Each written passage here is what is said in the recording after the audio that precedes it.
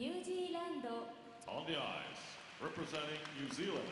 So we have seen on the Junior Grand Prix series already great success for New Zealand in the men's discipline. Cara Tang shares the same coach as Jan Hulley.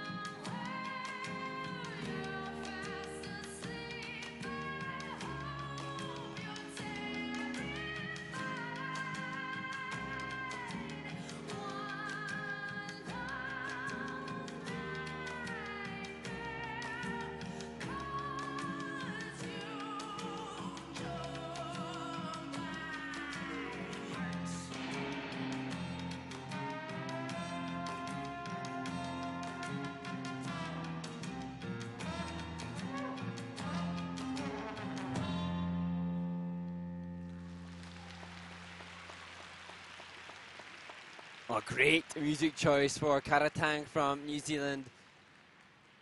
And she, a skater definitely capable of living up to such a strong piece of music. She's won many international dance competition awards from her dance education off the ice and able to exploit that in her figure skating now.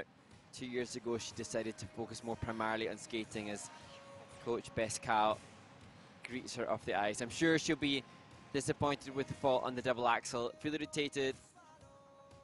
Special scenes with a coach that has taught her for seven or eight years now.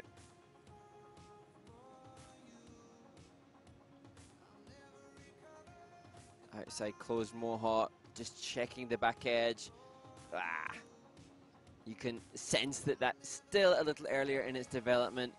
And the double flip, double toe combination a lower base value than some, but where she has lower technical element skill, she does have an ability to good composition of the program, mindful and aware she steps up into the double loops, good technique. And there's so much consideration and thought into the composition and the structure of the program. And the conviction as she takes her finished position. Nkara attended the International Skating Union Advanced Novice Workshops in Colorado Springs earlier this year with her coach. Great initiative by the International Skating Union development team to facilitate progress and education for so many. Cara acknowledging how great that was.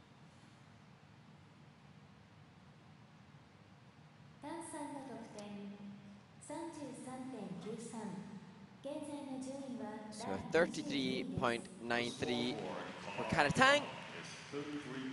And she slots into 22nd place.